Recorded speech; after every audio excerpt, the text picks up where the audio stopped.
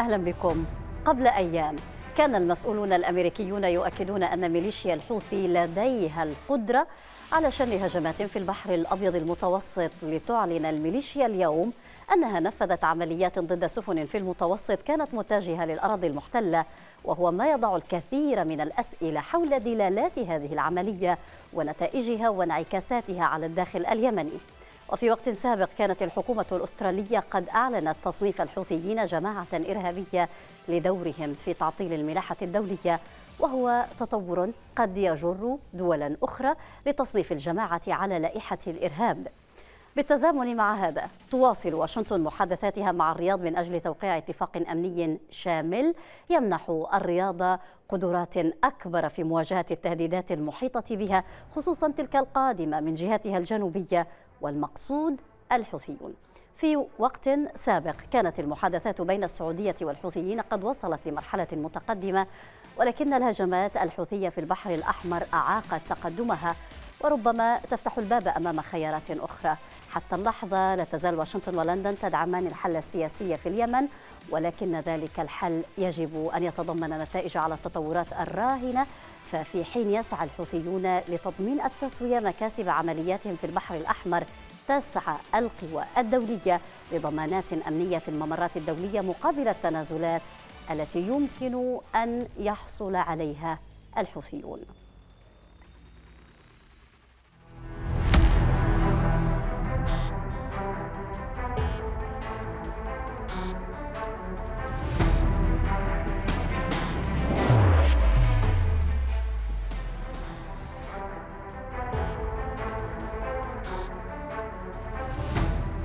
أجدد الترحيب بكم مشاهدينا كما أرحب بضيفي من بيروت الصحفي طالب الحسني. مرحبا بك. معنا سيد طالب. أهلا وسهلا. مرحبا. وأيضا سيكون معنا المحلل الأكاديمي والمحلل السياسي الدكتور عبد الوهاب العوج. دكتور عبد الوهاب أهلا بك. أهلا وسهلا أستاذ نضال. تحية لك وللمشاهدين وللضيف العزيز. أهلا ومرحبا بك دكتور. أبدأ معك سيد طالب بالسؤال المشترك. جماعة الحوثي تقول أنها نفذت هجمات في البحر الأبيض. ما الذي يعنيه ذلك؟ نعم مرة أخرى تحية لك وللسادة المشاهدين وللدكتور العزيز عبد الوهاب أهلا. آه في الحقيقة ليست المرة الأولى التي آه يتم الإعلان فيها عن آه تنفيذ عمليات في البحر الأبيض المتوسط. أولا أعلنت هذه أو أعلنت هذه المرحلة التي سميت بالمرحلة الرابعة قبل نصف شهر تقريبا. ثم أعلن عن تنفيذ عمليات تتعلق بالبحر الأبيض المتوسط لمرتين الجمعة الماضية.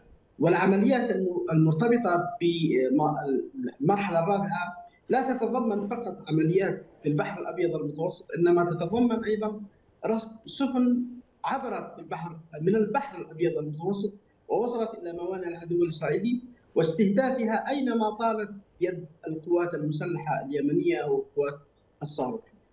في الحقيقة هذا تصعيد كبير ضمن مرحلة تدرجية يكشف عن قدرات عسكرية تستطيع أن تصل إلى البحر الأبيض المتوسط قدرات صاروخية بطبيعة الحال سيكون هناك إرباك للشركات التي تتعامل مع كيان العدو الإسرائيلي وتأخذ هذا المسار.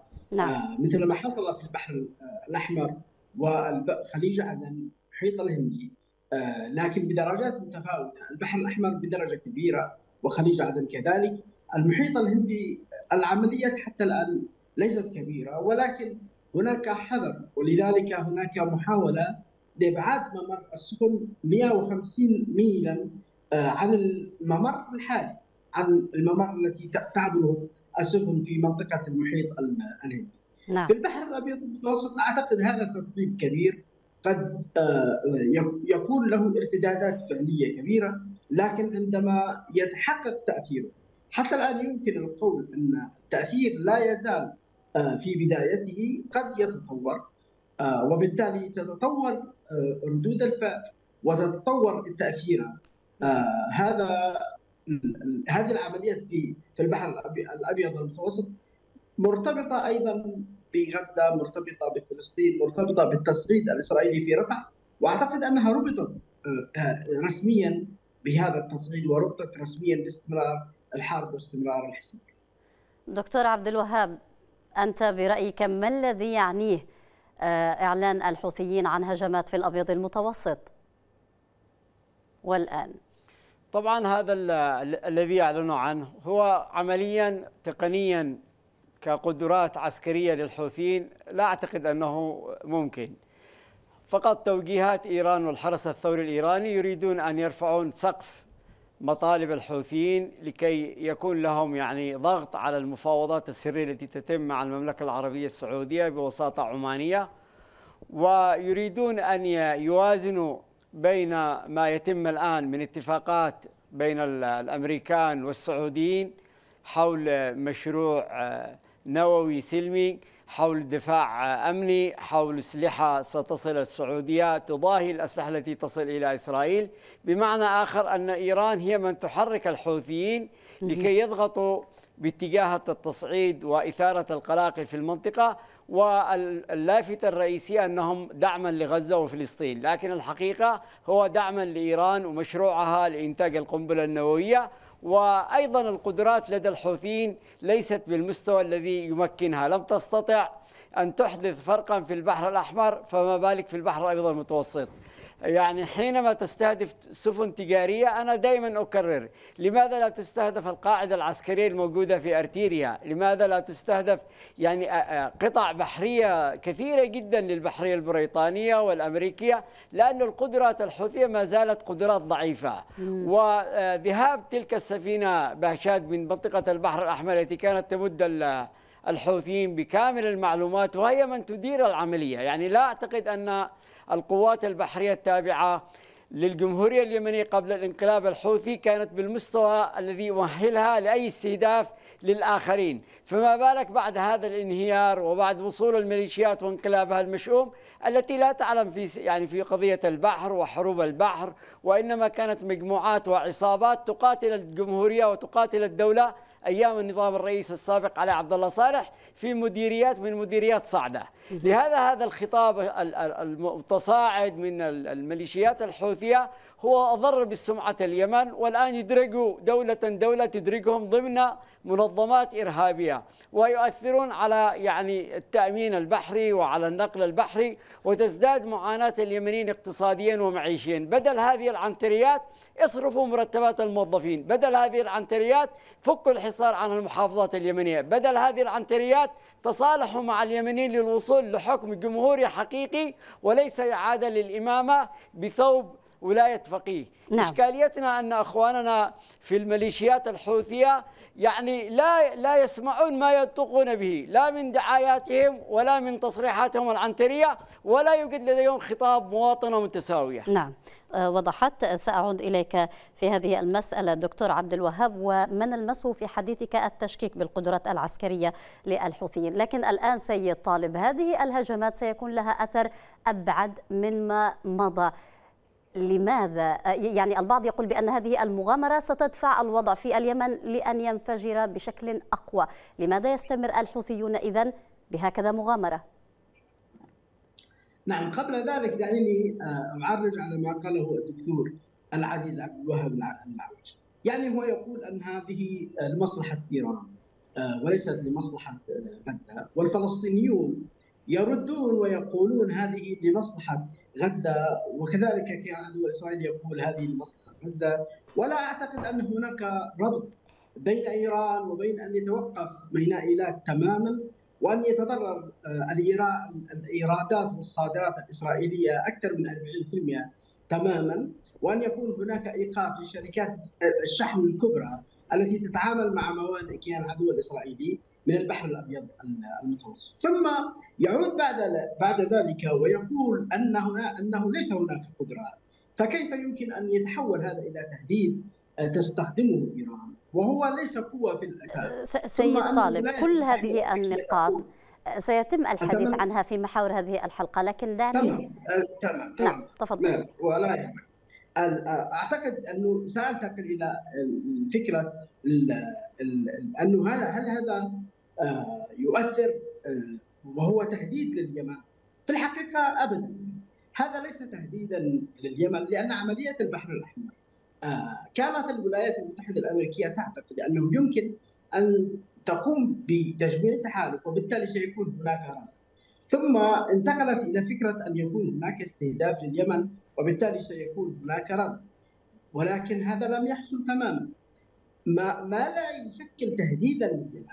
أن العمليات البحرية اليمنية دقيقة بحيث أن هامش الخطأ فيها صفر. لم يحصل أن تم استهداف سفينة بالخطأ. ولذلك استمرار السلاسة البحرية والملاحة البحرية غير المستهدفة غير المعنية بالاستهداف من البحر الأحمر استمرت حتى الآن ولم تتضرر الملاحة البحرية غير المعنية. وهذا يدل على أن العمليات العسكرية التي تستخدم دقيقة جدا. يعني الصين لم توقف الاستخدام هذا الممر. كدولة روسيا لم توقف استخدام هذا الممر. الدول التي آه، آه، تستخدم هذا الممر وليست معنيه باستخدام لم توقف هذا لو لم توقف هذا الاستخدام للممر.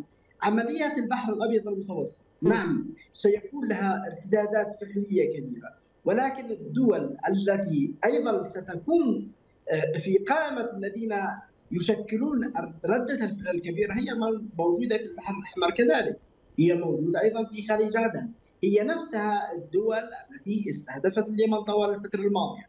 يعني طوال فترة آه، عملية البحر الأحمر. نعم. بل هي نفسها التي تستهدف اليمن خلال آه، عشر سنوات. نعم. ليست عن كما كما يصفها الدكتور العوج أعتقد أن ولا حتى يقارن تقارن القوات المسلحة اليوم بالقوات المسلحة الماضية، كان هناك تحكم، كان هناك منع لاستخدام أسلحة، كان هناك منع أيضا لتطور القوات المسلحة اليوم، هناك انفكاك عن هذه ال ال ال عن هذا عن هذه السيطرة. ولعل علي عبد الله صالح خلال مقابلته في عام 2016 قال بشكل واضح ان دول الخليج كانت تمنع أن يكون هناك تطورا في قدرات القوات المسلحة نعم. وهذا أيضا مطروح أيضا ضمن ما يسمى يعني حماية الأمن القومي للسعودية حليفة الولايات المتحدة الأمريكية. هل سيؤثر الاتفاق السعودي الأمني الآن الأمريكي آه، آه، الأمني آه، وبالتالي يعزز قدرات السعودية أعتقد أنه يمكن أن يكون ذلك ولكن هذا نعم. يحتاج إلى فترة زمنية طويلة يحتاج إلى ما يقارب ما, ما يفهم من حديثك سيد طالب بأن هذا التصعيد في المتوسط لن يكون له تبعات أكبر من ما قد حدث في البحر الأبيض البحر الأحمر وخليج عدن وقد, وقد أيضا تحدثت عن ما تحقق لغزة من خلال هذه الهجمات بالنسبة للمكاسب الخالصة للحوثيين ما هي؟ ما الذي تحقق حتى الآن؟ المكاسب الخالصة في الحقيقة ليست يعني ليست قليلة. أولا هي إثبات آه، أن هناك قدرات عسكرية في اليمن لا تعتمد على إيران كما كما يفترض البعض لأنه لا يمكن لدولة أو حتى لمجموعة أن تدخل حرب مفتوحة وطويلة بمستويات متعددة أن تفعل ذلك وهي تعتمد على تهريب الأسلحة.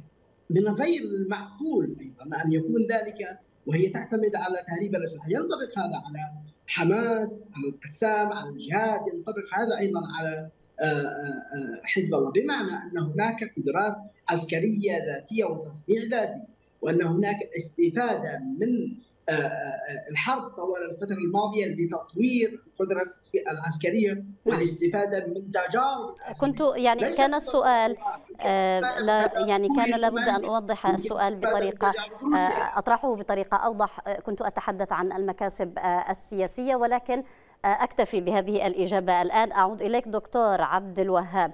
يعني أنت تشير دائما إلى التشكيك بقدرات الحوثيين وبأن ما يحدث تهويل إعلامي خطابات آه، إعلامية من قبل الحوثيين القدرة على الوصول إلى أماكن بعيدة البحر الأبيض المتوسط. لكن أيضا على الجانب المقابل هناك مسؤولون أمريكيون أكدوا قدرة الحوثيين فعلا علشان هجمات تستهدف الأبيض المتوسط.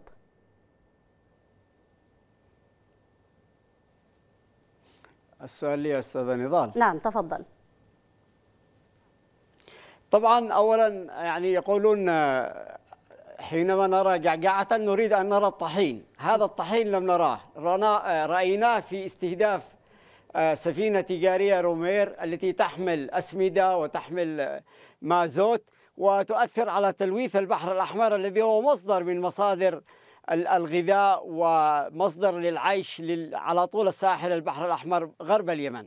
معنى آخر أن الحوثيين يستهدفون سفينة تضرنا ولا تفيدهم في قضية الدعاية الحوثية والدعاية الإيرانية الموت لأمريكا والموت لإسرائيل. فلم نرى موتا لا لأمريكي ولا لإسرائيلي. رأينا موتا لبحارة من الفلبين ومن الهند. يعني بمعنى آخر أن الحوثي يظل يكذب ويكذب ويأتي مثل الأستاذ طالب وغيره ليروج لكذباته على مستوى الإعلام. يمكن أن يكذب على الداخل اليمني وعلى المواطنين اليمنيين وعلى بعض السذج من اليمنيين ليقاتل الدولة وأنه يريد إنهاء مظلومية اليمنيين. فأتى بأكبر مظلومية في تاريخ الشعب اليمني. لكن حقيقة لا نجد أي تأثيرا على القضية الفلسطينية أو على ما يحدث الآن في غزة بدليل استمرار الحرب لسبعة أشهر بهذا الدمار الهائل الذي يحدث في غزة. وقتل لعشرات الآلاف الآن تجاوزنا أربعين ألفا من الفلسطينيين. بمعنى آخر كان لو يمكن الأستاذ طالب وغيره الذي يعيش في لبنان أن نرى حزب الله بدل جالس الآن سبعة أشهر في مناوشات على خمسة كيلومتر في مزارع شبعة بالكاتيوشا. كنا نريد أن نرى هذه القدرات التي يتحدث عنها باستهداف العمق الإسرائيلي وإيذاء العدو الصهيوني حتى يتوقف حرب غزة. كنا نريد لتلك المسيرات الإيرانية التي أعلنوا سابقا أنهم سيرسلوها إلى إسرائيل أن تصل وأن تؤثر تأثيرا في إسرائيل. نعم. يستخدمون أذرعهم لتهشيم المنطقة العربية في العراق وسوريا ولبنان واليمن ولا يخدمون القضية العربية ولا القضية الفلسطينية. للأسف الشديد أنه أصبح منطقا مشوها. الأمريكان والبريطانيين غير جادين بالقضاء على الحوثيين أو القضاء على قدرات التي في تصلهم في من إيران. البريطانية دكتور عبد الوهاب هناك تقارير بريطانية تفيد بأن لندن لم تستطع الحفاظ على مصالحها في البحر الأحمر وهو ما يؤكد بأن الحوثيين قد حققوا إنجاز. تفضل. أنا قناعتي أن البريطانيين والأمريكيين يريدون استنزاف دول الخليج العربي ومحاصرة مصر وإضعاف قناة السويس. لأنه الخطر الذي يأتي من تهديد محتمل يجعل السفن تتجه نحو الرجاء الصالح. ليس لأن الحوثيين لديهم قدرات. الموضوع ال high risk الخوف من حدوث خطأ من قبل الحوثيين يجعل الأمريكان أو البريطانيين أو التجارة العالمية اليابانية وغيرها يتجهون بعيدا عن قناة السويس. مصر الآن تحاصر وفقدت 60% من مدخلاتها من قناة السويس بسبب هذه الحماقات الرعناء من قبل ميليشيات انقلابية في اليمن. هؤلاء لم يكتفوا بمحاصرة 3 مليون مواطن يمني في تعز الآن يتجهون لمحاصرة الشعب اليمني على طول السواحل اليمنية. وآثار اقتصادية مدمرة ومنع تصدير النفط ومنع تصدير الغاز. أنت تتعامل مع مجنون في غرفة صغيرة أو الفيل في الغرفة الصغيرة الذي يركض ويذهب ليصرع الآخرين داخل تلك الغرفة الصغيرة. هذا هو حالنا داخل اليمن. أما الأمريكان والبريطانيين فيستفيدون من بيع صفقات سلاح مهولة جدا وما الاتفاق السعودي الذي تم قبل أسبوعين ب 18 اتفاقية تجارية واقتصادية مع أمريكا إلا نتيجة أنهم سيذهبون السعوديين والخليجيين لاتفاقات يعني مكلفة جدا. نتذكر صفقة اليمامة مع بريطانيا؟ ستعود صفقات كبيرة جدا جدا مع البريطانيين والفرنسيين والأمريكان. ولهذا هم يستفيدون من وجود هؤلاء الانقلابيين الحمقى الذين يثيرون الحروب ويهددون السلم نعم. المحلي والإقليمي خدمة لأمريكا وإسرائيل ولشركات السلاح ولشركات النفط التي تستفيد من كل هذه الأعمال الرعناء. لا يمكن أن يصل للحوثيين أسلحة أو يقوموا بتصنيع أسلحة والأمريكيين غافلين عنها. نعم. يستهدفون مواقع تم استهدافها عشرات المرات. علي بيت علي محسن بيت علي عبد الله صالح في الحديدة مطار الحديدة قصر الرئاسة. كلها قد شبعنا وملينا منها. نعم. الحوثيين معهم مناطق معروفة ويعرفها اليمنيين ولكن لا تستهدف. نعم. آه سيد طالب مع هذا التصعيد والوصول بالهجمات كما أعلن الحوثيون إلى البحر الأبيض المتوسط. كانت أستراليا قد وضعت آه جماعة الحوثي على قائمة الإرهاب. والسؤال ألا يخشى الحوثيون أن تتخذ دول أخرى نفس هذا الإجراء الذي اتخذته أستراليا ويتم تصنيف الحوثيين عالميا منظمة إرهابية؟ نعم قبل ذلك اسمح لي نعم أيضا يعني قليلا. الدكتور عبد الوهاب العوج لا يرى ولا يسمع أو بالأصح لا يريد أن يرى ولا يسمع. ولذلك هو يعارض كل شيء يقال يعارض كل شيء كل كل حقيقة تعلن يعارض كل شيء. يعني يريد أن فقط نستمع إليه ونكذب تصريحات الأمريكيين، تصريحات الأوروبيين، تصريحات البريطانيين تصريحات حماس تصريحات الجهاد الإسلامي. يريدنا أن نكذب الواقع كله وأن نقول أنه هي عبارة عن جعجعه ولا نرى طحين يعني عندما تتوقف الموانئ كيف يمكن أن تجيب؟ عندما تتوقف الإيرادات والصادرات الإسرائيلية كيف يمكن أن تجيب؟ عندما يتم الإعلان عن استهداف سفن عسكرية أمريكية وليست تجارية كيف يمكن أن تجيب؟ عندما تغرق سفن في البحر في البحر الأحمر كيف يمكن أن تجيب؟ عندما تتوقف الدول التي كانت ترتبط بشراكة اقتصادية مهمة جدا مع كيان العدو الإسرائيلي، كيف يمكن أن تجيب؟ عندما تقول الولايات المتحدة الأمريكية أن عمليات البحر الأحمر معقدة لأسباب تتعلق ليس بالقدرات فقط تتعلق بأنه هناك أمان للبحر للسفن التجارية يجب أن يكون قويا ولكن هناك اختراق لهذا التحالف وضرب السفن وبالتالي تتوقف. الشركات التي بدأت تستخدم البحر الأحمر عندما وصل التحالف إليها لفترة قصيرة توقفت عن الاستهداف لأنها أدركت أنه التحالف العسكري الأمريكي والأوروبي لا يحمي السفن مساله أنه الإضرار بمصر، الإضرار بدول الخليج، الدول الأوروبية أكبر متضررة من استخدام طريق الرجاء الصالح لأنها هي من تدفع تكلفة يعني تكلفة زيادة الشحن، زيادة أسعار الشحن. هي من تدفع يعني إذا كانوا لا يريدون أن أن يستخدموا سيد طالب لنحصر الإجابة بشكل أدق. هل توقفت الحرب في قطاع غزة؟ هل أوقف الكيان الإسرائيلي احتلاله لهذه المدن؟ وهو الذي يصعد ويهدد يعني خلال الأيام الماضية وباجتياح رفح وقام بهذه العملية. لربما كان السؤال هنا وهذا ما كان يقصده الدكتور عبد الوهاب. يا سيدة رضا يا سيدة رضا والدكتور عبد الوهاب والمستمعين. الغرض من من من, من هذه العملية ليس إيقاف الحرب بشكل عام هي عملية إسناد. حتى عملية حزب الله هي عملية إسناد.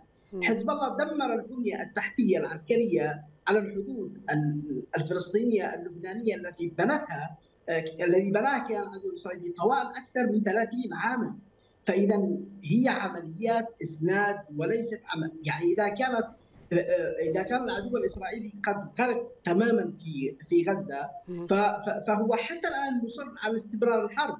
فليس هناك هزيمة في غزة حتى نقول أن هذه العمليات لم تفد. لربما سأسألك هذا السؤال سيد طالب بما أن الحوثيين لديهم القدرات العسكرية للوصول إلى البحر الأبيض المتوسط. اذا لماذا لا يتم ضرب تل أبيب مباشرة؟ تضرب مناطق معينة في الجنوب في جنوب نعم. الأراضي الفلسطينية. نعم. يعني نعم. ساكتفي سأكتفي بهذه الإجابة. دعني دعني أعود لمحور لهذه الحلقة ومحورها. فيما يتعلق باستراليا تصنيفها للحوثيين جماعة إرهابية م. نتيجة لهذا التصعيد وتزامنا معه. ألا يخشى الحوثيون الآن أن تتخذ دول أخرى هذا المنحى وهذا الإجراء؟ وبالتالي يجمع العالم على تصنيفكم جماعة إرهابية؟ في الحقيقة ليس هناك خشية. لماذا؟ لأنه هذه الدول حتى التي لم تصنف هي تطبق تماما فكرة التعامل مع اليمن ومع أنصار الله كما كمنظمة إرهابية. يعني ليس هناك علاقة ليس هناك سفارات ليس هناك اعتراف ليس هناك تجارة متبادلة ليس هناك يعني نشاط سياسي واقتصادي. ليس هناك علاقات فاذا كل ما يمكن أن ينفذ بناء على عملية التوسيع هو قائم الآن قائم الآن. ولو أرادت الولايات المتحدة الأمريكية أن تصنف الدول الأوروبية أنصار الله كمنظمة إرهابية لفعلت ذلك ولكن هم لديهم يعني استراتيجية تتعلق بأنه لابد في نهاية المطاف من الذهاب إلى مفاوضات من أجل إيقاف حرب اليمن ومن أجل نعم. حماية السعودية وليس إيقاف حرب اليمن.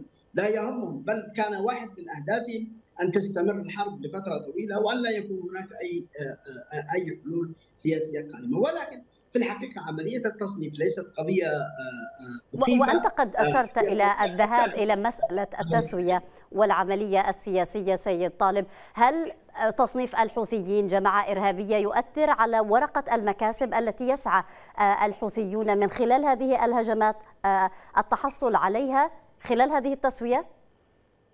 بل الاستسلام من أجل الهروب من فكرة عدم التصنيف هو الذي يؤثر. نعم. يعني وجدنا أن التصنيف لا يؤثر على المفاوضات السعودية اليمنية، لا يؤثر لا يؤثر على المفاوضات اليمنية أيضا مع الدول التحالف، لأنه هذه الدول هي تأتي إلى عملية المفاوضات ليس بقناعة وإنما هي مضطرة أن تذهب إلى نعم. ذلك.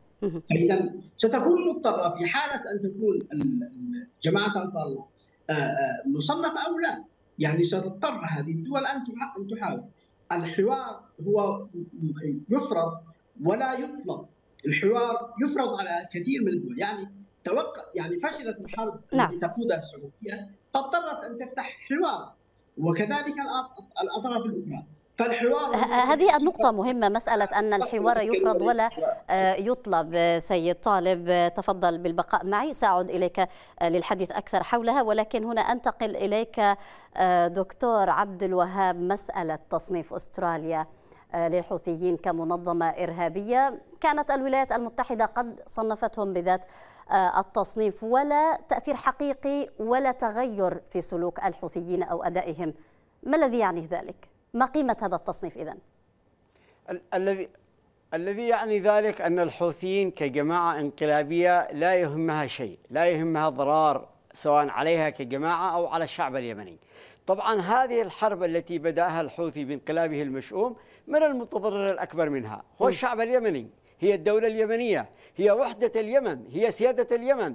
هؤلاء حينما انقلبوا واستولوا على العاصمة صنعاء كانوا في كهوف. الآن هم يمتلكون ويثرون ثراء فاحشا قيادات الحوثي بالكامل. ولذلك لا يهمهم إذا كان أبناء القبائل يذهبون كمحرقة كبش فداء في هذه المعارك. لو الشعب اليمني انطحن من الفقر وأصبح مستويات الفقر أكثر من 80% لا يهمهم. وبالتالي الدول الكبرى سواء أمريكا أو غيرها تراوح في هذا الموضوع لأنها تعلم أنها تتعامل مع جماعة إرهابية كانت في الكهوف ولا تتعامل مع دولة. أما كلام المضحك للأستاذ طالب حينما يقول التبادل التجاري ما الذي تصنعه اليمن حتى تعمل تبادل تجاري مع أمريكا؟ الآن اليمن ما الذي تصدره؟ كان معنا قليل نفط وغاز نصدره بأعمالكم الرعناء وقفتوها. هل سنصدر الشمة من صعدة ولا سنصدر مثلا القاتل الهمداني ولا من الذي نصدره. إن أنتم قضيتوا على الاقتصاد اليمني. نعم. هرب صغار التجار من اليمن. هربت كل الشركات اللي كانت موجودة في اليمن. توقفت الاستكشافات النفطية. ذهبت شركات النفط. يعني أنا أستغرب على هذه العقلية التي تعيش في الظلام. عقلية الإمام يحيى والإمام أحمد الذين يريدون أن يقطروا الشعب اليمني من جديد. حينما يأتي مثلا المشاط ويتكلم عن بروميد ميثيل وتأثيره على طبقة الأوزون وما يفهموا على طبقة الأوزون. نعم. هؤلاء من يحكمون هؤلاء الذين يتحدثون بما لا يعرفون يهرفون بما لا يعرفون. ويأتي مثلا الأستاذ طالب من بيروت ليبرر لهم ليقول أثرنا على فلسطين والقضية الفلسطينية. يا أخي حزب الله أكبر كذاب أكبر كذاب وأنتم الحوثيين أكبر كذاب. نعم. لو كان لديكم قدرات كنا شفنا تأثيرا على أرض الميدان. أنتم لا تحدثون فرقا. أنتم تمكنون إسرائيل من تدمير غزة وأن إسرائيل العرب تكالبوا عليها. ولذلك دول الغرب هي تفهم وجود هذه الميليشيات في اليمن في نعم. لبنان في العراق في سوريا. دمرت الأوطان العربية وتتيح لهم التدخل وتبيح وتتيح لهم فرض السيادة والاستقرار دكتور عبد الوهاب. تحت سيطرة الأمريكان والغرب. هل يمكن نعم. البناء على حديثك أنه مع تصنيف الحوثيين جماعة إرهابية هناك آه، آه، آه، تصريحات لمسؤولين غربيين وأمريكيين أنه لا بد من الاستمرار في المسار السياسي والتمسك بعملية التفاوض مع الطرفين مع الحكومة الشرعية ومع الحوثيين؟ هل هذا ما نفهمه؟ طبعا يفرض يفرض على اليمن حلول مجتزأة من ترك للحوثي الوصول إلى صنعاء هي الرباعية. هي دول الدائمة العضوية لأنها ترى في الميليشيات الحوثية الشيعية تقسيم للأمة العربية لأنها تثير أحقاد الماضي لأنها تزعزع الاستقرار في الوطن العربي. ولنا في العراق وسوريا أكبر مثال. أتوا لنا بفرقة مذهبية وسلالية ومناطقية وقسموا دول التي وقعت تحت سيطرتهم أو تأثيراتهم. ولذلك الإيران يتبجحون أنه أربع دول عربية سقطت تحت المحور الفارسي. نعم. إيران الفارسية لا لا تجابه أمريكا وإسرائيل بشكل حقيقي وإنما كلها لنا أربعين سنة نسمع كلاما كلاما يريدون أن يسيطروا على المنطقة العربية والخليج العربي. ولذلك السعودية تضطر الآن للذهاب باتفاقيات بكامب ديفيد جديد لأنها تخشى من هذه الأذرع الشيعية الموجودة سواء في المنطقة الشرعية سواء موجودة في البحرين في العراق في اليمن لأنها تتعامل مع ميليشيات. الميليشيات حرب عصابات مفتوحة ولذلك السعودية حتى يعني أخذت خطام الحوثيين وأغرتهم بالأموال وتعمل اتفاقات سرية وجنبت الحكومة الشرعية. الأولى للحوثيين لو كانوا قادين بسلام ومصلحة اليمن ومصلحة الأمة العربية وفلسطين أن يجلسوا مع اليمنيين. هم هذه نقطة مهمة دكتور عبد الوهاب لكن أيضا ولا مسألة بالتعددية السياسية. نعم مسألة تصنيف الحوثيين آه، دكتور عبد الوهاب البعض يقول تصنيفهم جماعة إرهابية البعض يقول بأنه ضغط. على المملكة حتى لا تستمر في العملية السياسية قبل مراعاة مصالح القوى الإقليمية. حتى يتم إيقاف مسار التسوية الذي كانت تسعى فيه المملكة أرى أنه أنا أرى أنه تأثيرات حرب أوكرانيا وروسيا تأثيرات كبيرة جدا. نعم. الغرب يريد استمرار تدفق الطاقة من منطقة الخليج العربي ولا يريد زعزعة لها لأنهم يعرفون أن المسيرات والصواريخ التي تأتي من من العراق أو من سوريا أو من اليمن أو ممكن ممكن تؤثر على مصادر الطاقة التي هي تشكل 60% من النفط العالمي. وبالتالي فمحاولة أنه الزج بنا في سلام منقوص هم يريدون تهدئة المشكلة لأنهم استفادوا من وجود الميليشيات الحوثية في اليمن نعم. استفادوا نعم. من وجود الميليشيات الشيعية في العراق قاتلوا النظام البعثي القومي ثم سلموه لإيران ولجماعة تابعة لإيران يعني من المستغرب سوريا القومية اللي كانت تدعي العروبة اتضح أنها نظام نصيري سلمت إلى إلى إيران واليمن نفس الطريقة يعيدون الإمامة إلى اليمن بوجه جديد يسمى عبد الملك الحوثي وولاية الفقيه هذا هذا المخاتلة وهذا النفاق الذي يتواجد نتيجة أنهم يستفيدون من نفط الخليج الأمريكان والبريطانيين والفرنسيين نعم. ودول الغرب ها. تستفيد وتريد أن أن تكون إمدادات الطاقة مستمرة ولذلك يقول لك لا نريد قردا ينط من الشجرة على ال ال الأرض ويذهب اتجاه السفن واتجاه امدادات الطاقة والنفط. اسكتوا ببعض الأموال واتفاقات سلام مهزوز. تفضل دكتور بالبقاء. معنا أعود إليك سيد آه، طالب. هناك آه، يعني حديث حول آه، مباحثات متقدمة للعمل أو العمل على اتفاق أمني جديد ما بين السعودية والولايات المتحدة لمواجهة كافة التهديدات الأمنية بعد هذا الاتفاق ستكون قابلية الرياض للمضي في التسوية أقل هل هذا السبب هو يعني يمكن القول أنه السبب في استمرار الدعوات من جانب الحوثيين دعوات عدة للرياض لعودة للعودة إلى طاولة المباحثات؟ أنا أستغرب إنه الدكتور آه، منذ آه، يعني يكرر ما يقال منذ 45 عام كان يقال بعد الثورة الإسلامية أن هذه ثوره في إيران أنها تهدد الدول الخليجيه وبالتالي عليكم أن تبيعوا النفط مجانا وأن آه، أن تفعلوا كل ما تريد السعودية. وأن يتجاهل فكرة أن الاتفاق الأمني القائم الان بين السعودية وبين الولايات المتحدة الأمريكية المقابل له هو بيع فلسطين بيع ما بقي من فلسطين بيع القضية الفلسطينيه تطبيع يعني الأمريكي يربط فكره وحتى السعودي يعني يربط فكرة ال ال ال الاتفاق الأمني آه، الأمريكي السعودي بالتطبيع. والتطبيع يعني أن يتخلى أن تتخلى السعودية. وهي لا لا لا تدعم فلسطين ولكن أن تتخلى ان أن تضيف آه، آه، إلى التحالف الإسرائيلي التحالفا جديدا في مواجهة الجمهورية الإسلامية، فإذا العرب الذي يظهر أن الدكتور يدافع عن السعودية وعن الإمارة. نعم. آه، مقابل أيضا التحالف الفلسطيني المقاوم ليس الفلسطيني الراغب إنما الفلسطيني المقاوم مع الجمهوريه الاسلاميه ومع محور المقاومة لحماية فلسطين. كان بالأمس هناك اجتماعا بين حضره إسماعيل هنية السيد إسماعيل هنية في في طهران. مفاد هذا الاجتماع هو مواجهه الحرب على غزة استمرار النصر في هذه الحرب هي حرب وجودية وبالتالي مواجهة أيضا التحالفات التي تقوم بها الولايات المتحدة الأمريكية لمحاولة حماية ما بقي من كيان العدو الإسرائيلي. نعم. فكرة أن أنك تتجاهل اليمن، فكرة تجاهل اليمن. وأن اليمن هذه لا تصدر شيئا وليست دولة موجودة. لا يعني دعنا دعنا نركز على مسألة هذا الاتفاق الأمني آه سيد طالب ونستطرد الحديث فيه أكثر. هذا الاتفاق الأمني هو يضمن للسعودية تأمين حدودها سواء وتأمين نفسها جوا وبرا وبحرا من جهة الجنوب بشكل خاص من الحوثيين وهذا ما سيجعل كما نص السؤال قابليتها أقل في مسألة التسوية وبالتالي لن تقدم المزيد من المكاسب وحتى التنازلات للحوثيين.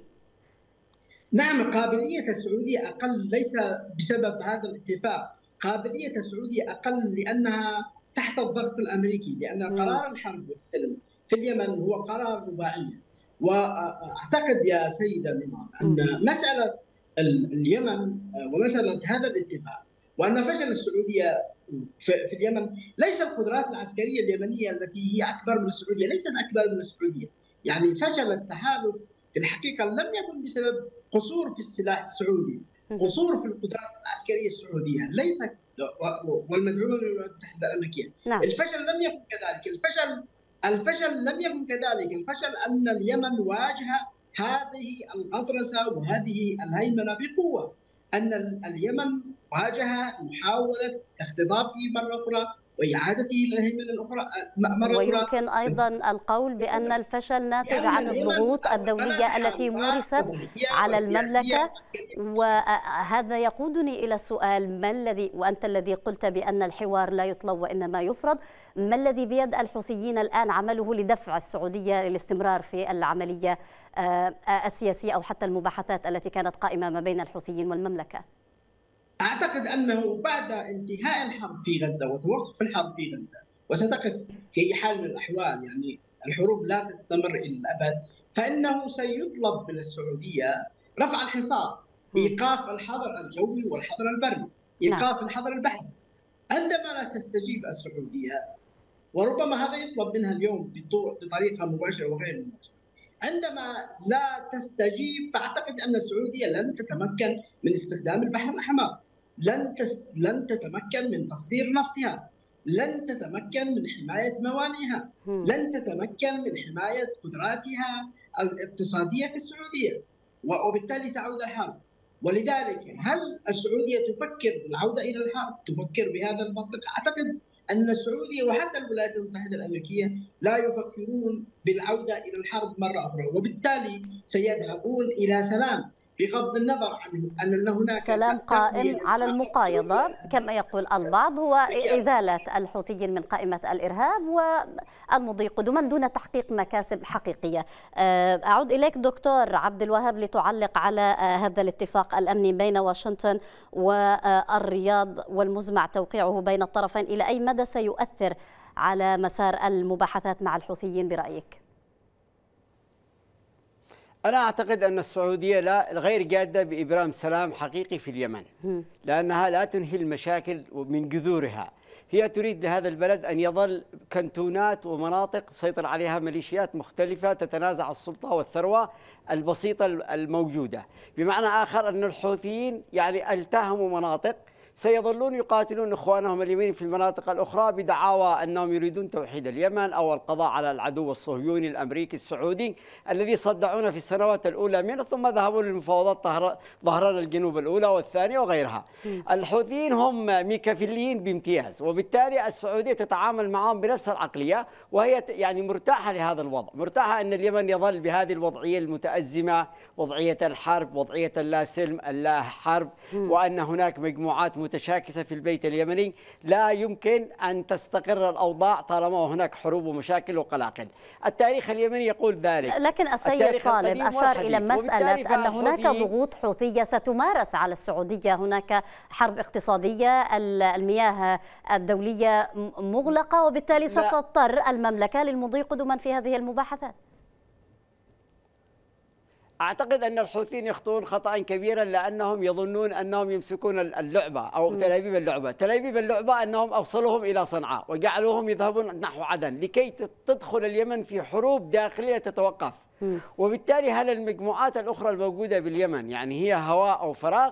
لو كان الأمر كذلك ما انسحبوا من عدن وما انسحبوا حينما اشتدت الأزمة على الحوثيين في ميناء الحديدة ومدينة الحديدة تدخلت نعم. بريطانيا بقوة وتم إبرام اتفاقية ستوكهولم التي خدمت الحوثيين. بمعنى أن هناك مشروع دولي يريد للحوثي ولغيره أن يبقى في المنطقة لكي يبتز المنطقة العربية. نعم. السعودية تنبهت لذلك وذهبت باتفاقات مع إيران في الصين ودخلت مجموعة البريكس وتحاول أن تطور نفسها اقتصاديا. ستجعل الحوثيين يظلون مثل الغريق الذي يتعلق بقشة وينتظر قطرات الماء لأنه ينازع الموت. تعطي للشرعية قليل من ما يقوم بأودها. تعطي للانتقالي الإمارات وتسلخ محافظات مثل نعم. أرخبيل سقطرى أو محافظة المهرة. وأخواننا القادمون من صعدة لا يفكرون إلا في سيطرة الحكم لآل البيت وخولان بني عامر. هي هذه الإشكالية. حينما يتنازع اليمنيين السلطة والثروة سندخل في حروب شطرية وحرب 94 ثم حروب صعدة ثم حرب التي يعني نعم. سميت بعاصفة الحزم وعودة الأمل دكتور عبد الوهاب أنت قد أشرت إلى الشرعية لدينا يعني بالنظر إلى كل هذه التطورات نعم. تبدو الشرعية خارج كل هذه السياقات أين هي إذن؟ هي أسوأ ما في الأمر أن الشرعية ضعيفة وضعيفة جدا لأنها مرتهنة لقوى متعددة. الشرعية لم تستطع أن تحزم أمرها حول مشروع واحد لمجابهة ميليشيات إيران الفارسية في اليمن. ولذلك استطاع الحوثيين من خلال نظام فرق تسد أن يسيطروا على تلك المناطق ذات الكثافة السكانية. ما زال لدينا في الشرعية من يريد انفصال بجنوب الوطن ويجعل له مشروعا انفصاليا قرويا مناطقيا. واضح. مسيطر عليه من مديريات في يافع وردفان. لذلك نجد أن إخواننا في حضرموت يريدون الانفصال في حضرموت والمهرة أصحاب سقطرى يريدون أن يكونوا تابعين للإمارات. هذه المشاريع الصغيرة سواء كانت مشاريع سلالية مذهبية طائفة بولاية فقيه التي أتى بها الحوثي أو مشاريع المناطقية القروية التي يريدون مجموعة الانتقال وغيره أن يستمروا نعم. فيها حتى يسلخوا أجزاء من اليمن نعم. لن تستقر اليمن إذا لم نتوحد حول مشروع الدولة والجمهورية والتعددية السياسية والمواطنة المتساوية سواء مكتفي. كان حوثي نعم. ولا انتقالي ولا حضرمي ولا تعزي نريد مواطنة متساوية تعددية شكرا. سياسية الجميع يشارك في الحكم وتوزيع الثروة والسلطات دون ذلك بهذا القدر في المجهول وفي نعم. حروب مستمرة لعشرات السنين أشكرك جزيل الشكر من تعز الأكاديمي والمحلل السياسي الدكتور عبد الوهاب العوش شكرا لك وأيضا أشكر ضيفي من بيروت الصحفي طالب الحسني. أستاذ طالب شكرا جزيلا لك. أشكركم مشاهدينا على حسن المتابعة. إلى اللقاء.